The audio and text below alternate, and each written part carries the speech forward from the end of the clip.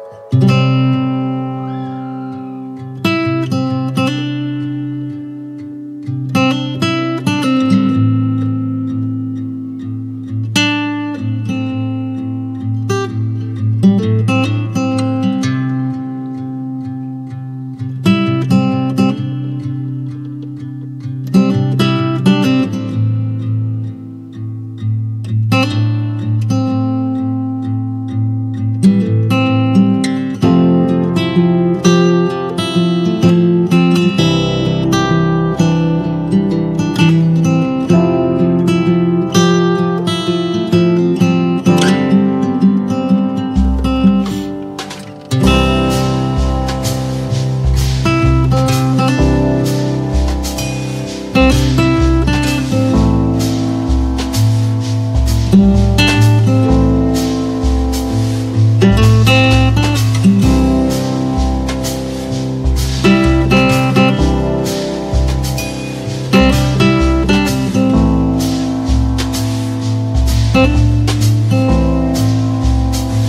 you